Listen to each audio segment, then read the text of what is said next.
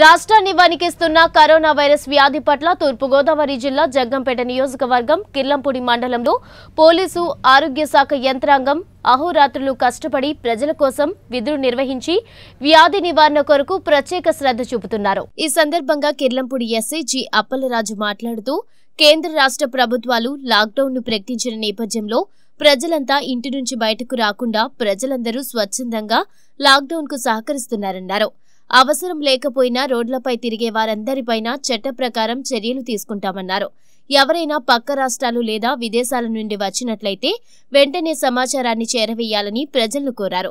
ఇప్పటి వరకు నిబంధనలకు విరుద్ధంగా తిరుగుతున్న ఐదు ద్విచక్ర వాహనాలను సీజ్ చేశామని అలాగే ఇరవై వాహనాలకు ఈ చలాన్ విధించామని తెలిపారు. లేకపోతే అవివేకంతో కూడా కొంతమంది బయటకు వస్తున్నారు. దయచేసి మిమ్మల్ని ఏదో డాక్టర్ చేసినట్టు కరోనా పేషెంట్తో ఉండమని చెప్పట్లేదు. ఏదో కష్టపడి బయట చెప్పట్లేదు మీకు. కేవలం ఇంట్లో రాకుండా ఇంట్లోంచి బయటకు రాకుండా ఉంటే మీరు వందల మందిని మన రాష్ట్రాన్ని మన దేశాన్ని కూడా మీరు కాపాడగలరు. దయచేసి ఎవరు ఇంట్లోంచి బయటకు రావద్దు. కేవలం ఏంటంటే ఆరు నుంచి ఒంటి గంట వరకు మాత్రం పర్మిషన్ ఇచ్చారు. ఆ ఆరు నుంచి ఒంటి గంట మధ్య ప్రాంతంలోనే వచ్చి మన నిత్యావసర వస్తువులు ఏవైతే ఉన్నాయో కొనుక్కోవాలి. అదేవిధంగా బండి మీద వచ్చే వాళ్ళు ఒకరు మాత్రం రావాలి. కారులో వచ్చినట్టయితే డ్రైవర్ కమ్ ఒక మాట రావాలి. అలా లేని వాళ్ళ నేను అలా బైకులు తిరిగితే ఒక ఐదు బైకులు సీజ్ చేయడం జరిగింది. అదేవిధంగా ఎవరైతే ఎక్కువ తిరుగుతున్నా వాళ్ళ మీద కూడా ఎంబీ యాక్ట్లు కూడా ఈ ఛానల్ కూడా ఇంపోజ్ చేయడం జరిగింది. ఈ నాలుగు మా దగ్గర ఉన్న ఐదు బైకులు కూడా సీజ్ చేసి ఎంవీ పెట్టడం జరిగింది. కాబట్టి ఎవరు కూడా అనవసరంగా బయటకు జరగవద్దు ఎందుకంటే ఇది మనకి ఇంకా సెకండ్ స్టేజ్లోనే ఉంది. దీన్ని మనం ఈ సెకండ్ స్టేజ్లోనే కంట్రోల్ చేయాలి. లేదంటే మనం ఈరోజు చూసాం చైనా ఇటలీ అదే అమెరికా ఇవన్నీ చూసాం. చాలా ఉద్రిక్త పరిస్థితి మనం ఇంకా రానున్న రోజుల్లో తీవ్ర పరిణామాలు ఎదుర్కోవాల్సింది.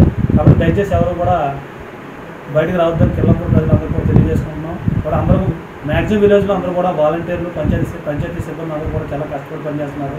కాబట్టి వాళ్ళకి మీరు సపోర్ట్ చేయండి. ఈ నెల రోజులు కూడా ఉంటే మనకి ఇరవై ఒక రోజులు ఉంటే మనం పూర్తిగా దీన్ని మన దేశం నుంచి తరిమి కొట్టవచ్చు. అయితే విదేశాల నుంచి కానీ పక్క రాష్ట్రాల నుంచి వచ్చిన వాళ్ళే మనకి మెడికల్ చెకప్లు చేసుకున్నా సరే వాళ్ళు ఇంట్లోనే ఉండమని పద్నాలుగు రోజులు అబ్జర్వేషన్ ఉండమని చెప్తున్నారు. దయచేసి ఎవరైనా గ్రామస్తులు కూడా ఎవరైనా బయట నుంచి వస్తే కన్సల్ట్ ఎవరైతే వాలంటీర్ ఉన్నారో లేదంటే గ్రామ మహిళా పోలీసులు ఉన్నారో వాళ్ళకి తెలియజేయండి. లేని అలా పోలీస్ స్టేషన్ కానీ తెలియజేసినట్టే వాళ్ళ అబ్జర్వేషన్లో ఉంచి మాకు మెడికల్ చెకప్ చేయడం జరుగుతుంది.